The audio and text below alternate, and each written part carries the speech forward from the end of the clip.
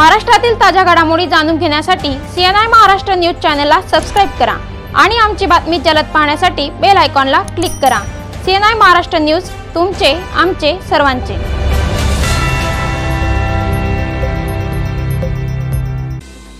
कासोदा तालुका एरंडोल सोनबर्डी येथील वसाकाजवळील मतिमंद मुलांच्या नावाने सुरू असलेल्या सहवास संस्थेतील मुलांच्या नावावर मोठी लूट होत आहे.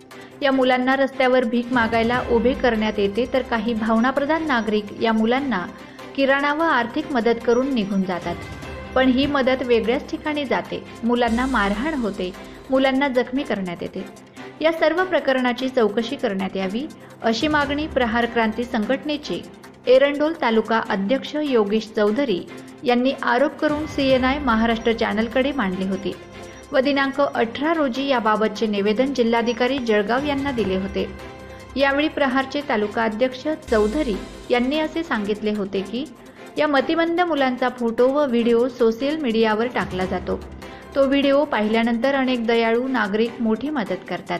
अशा प्रकारचे आरोप केले होते. त्या आरोपाबद्दल सहवास मतिमंद संस्थेचे संस्थापक समाधान सावंत यांनी आज सी एन आय महाराष्ट्राशी बोलताना सांगितले की आमच्या संस्थेत पारदर्शी कारभार चालू आहे व आम्ही शासनाचा कुठलाही निधीचा अजूनपर्यंत आमच्या संस्थेला मिळालेला नाही.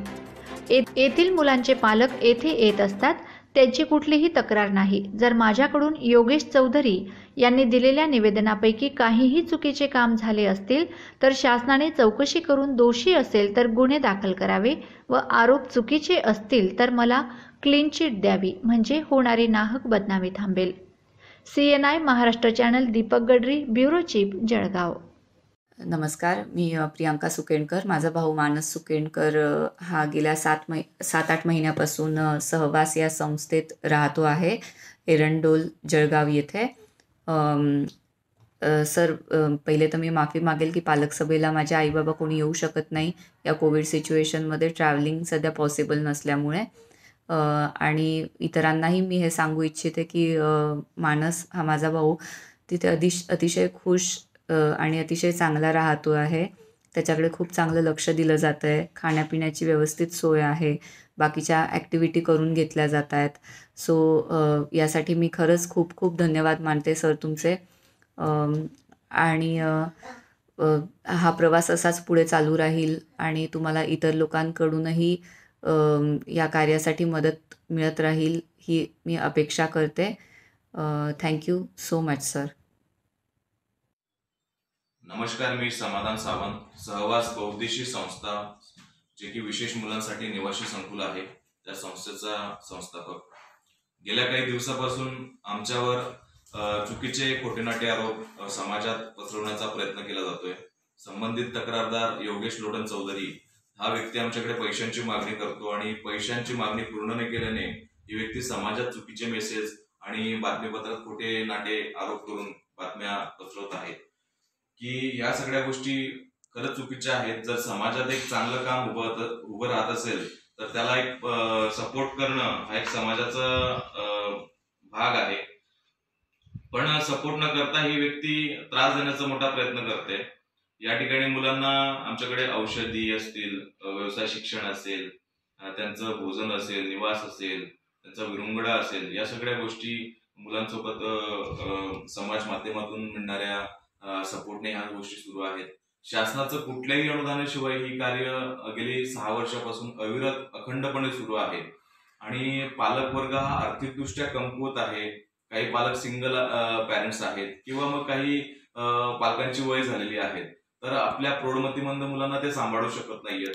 आणि शहरातल्या संस्थेमध्ये त्यांना जर ठेवायचं असेल तर मोठ्या प्रमाणात डोनेशन असेल किंवा फीज असेल हा प्रकार घडतो. पण एक ग्रामीण भागात ही संस्था आम्ही अशा मुलांसाठी अशा पालकांसाठी सुरू केलेली आहे.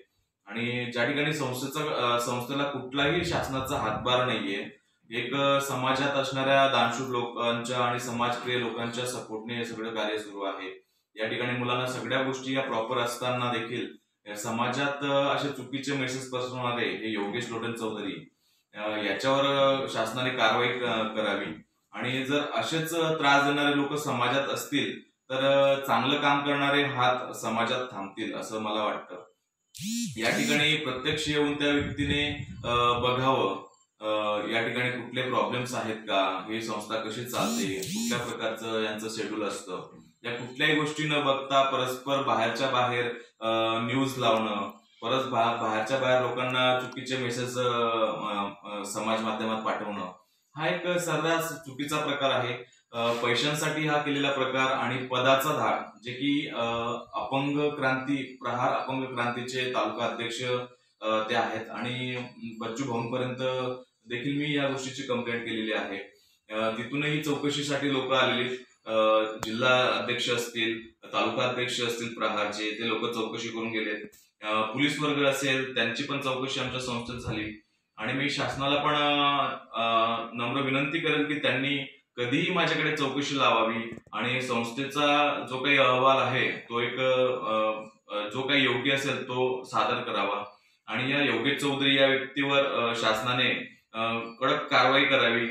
जर असं जर होत नसेल वेळेतच जर या लोकांना जर आळा बसत नसेल समाजात तर असे असंख्य योगी चौधरी समाजात तयार होतील आणि चांगल्या कामाला अडथळा निर्माण होईल. एक समाजात चांगलं काम सुरू आहे तर ते कुठेतरी थांबण्याचा प्रयत्न नक्कीच होईल. तर मला एकच सांगावं वाटतं की ही जी आमची बदनामी झालेली आहे समाजात संस्थेविषयी आता आम्हाला तर गव्हर्नमेंटचं कुठलंही अनुदान नाहीये. आणि जर समाजात जर लोकांच्या मनात संभ्रम निर्माण होत असेल तर येणारे जे काही मदतीचे हात आहेत ते थांबतील. आणि आम्हाला प्रश्न आहे की मुलांना जगवायचं कसं? हा एक मोठा प्रश्न आमच्या पुढे समाजात निर्माण होईल. तर योग्य दखल घेऊन या ह्या कारवाईला न्याय द्यावं असं मी शासनाला सांगेन आणि समाजाला पण सांगेल की ही सगळी चुकीची बातमी पसरवली जाते.